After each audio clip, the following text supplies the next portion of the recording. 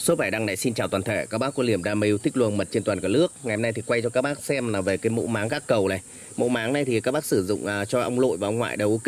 Đấy, hiện tại thì em đang ở khu vực à, vị trí của những cái đàn ông ngoại.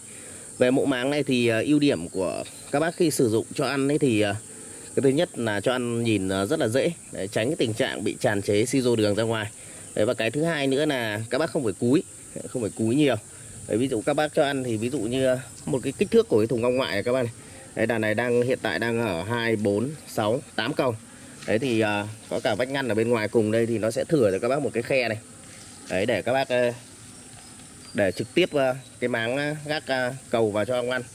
Đấy ví dụ như ong lội thì các bác lại phải cắt lại với cái kích thước là à, 42 nhé Đấy 42 còn đây là cái đàn ông ngoại thì các bác cứ để thực tế ở công ty người ta dập ra thì là hợp lý. Đấy mùa này thì hiện tại ở ngoài miền Bắc này đang khai thác mật hoa bạch đàn. Đấy cũng như là hoa rừng thì các bác không phải cho ông lại ăn hoặc là ông lụi ăn. Đấy nhưng mà nhiều khu vực khác là không có nguồn à, mật ý, thì các bác bắt buộc là phải cho ông ăn các bạn đấy còn là về cái mẫu máng này thì à, giá cả của nó rẻ thôi. Nó chỉ có vài ngàn đồng trên một cái thôi. Đấy rất là rẻ. Và cái dung lượng của nó thì nó được uh, gần một lít các bác nhé. Đây gọi là máng hai ngăn này.